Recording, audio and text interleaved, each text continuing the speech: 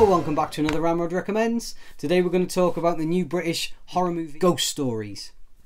Ghost Stories was written and directed by Jeremy Dyson, who was one of the writers behind The League of Gentlemen, and Andy Nyman, who was one of the writers behind all of Derren Brown's stuff. Derren Brown was that TV sort of psychic illusionist guy, and Andy Nyman basically wrote all the TV specials for him. He was also in such great horror movies as Dead Set and Severance. He plays the lead in this movie. His character is that of a man of science who spends his day debunking psychics and disproving any supernatural activity. He's quite a negative sort of character. He's he's got no faith. He's got no belief in anything but what you can see and what you can feel he idolized a guy from back in the 70s who kind of did the similar sort of thing, and this guy disappeared off the radar, and nobody ever knew what happened to him. Out of the blue, Andy Nyman's character is offered three cases of paranormal activity that nobody can disprove, and he is challenged to go in there with all his expertise and all his scientific beliefs and just put a name to what these people experienced or saw or felt.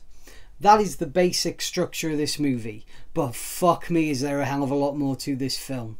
This is one of those movies where it plays out kind of like a Creepshow, like a bit of a portmanteau, but there is more to it. It's kind of got a big ribbon wrapped around the whole thing and tied on the top.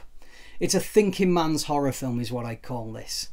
I can't give you a lot of spoilers about it because, like the Ghost Story stage play, which was hugely successful, People going in were warned not to share any of the secrets of the stage play once they'd finished watching it. Anybody going into this movie already knowing what happens in the stage play will kind of have the movie spoiled for them. Well, not spoiled, but they'll just kind of know what's going to happen.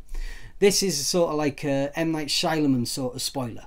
If you knew the things that went on in this movie, it would ruin it for you.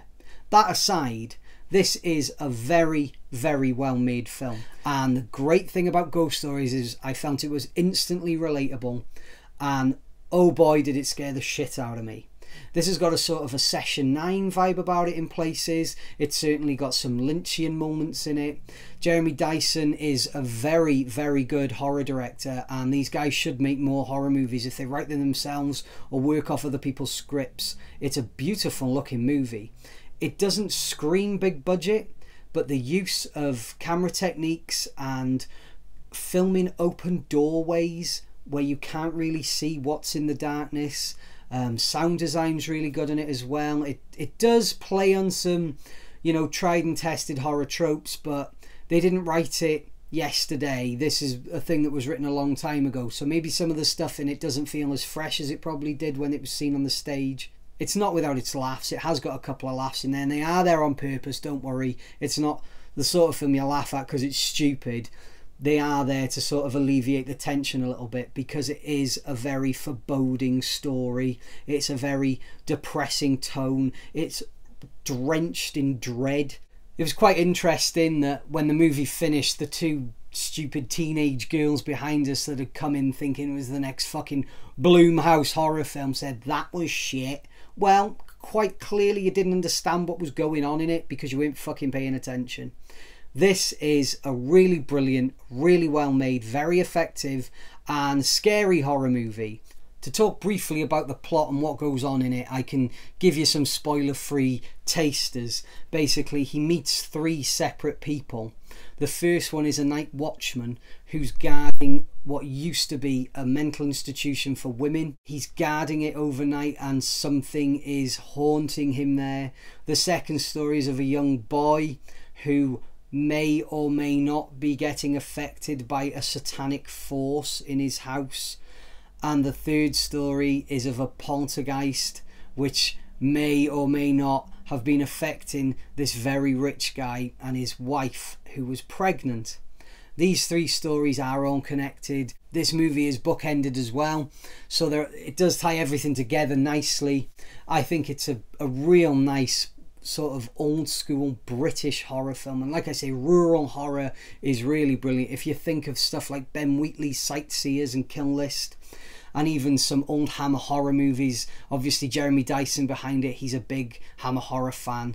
Andy Nyman gives it that psychology which only his writing could give it. It's a really, really brilliant horror film. The acting is brilliant in it.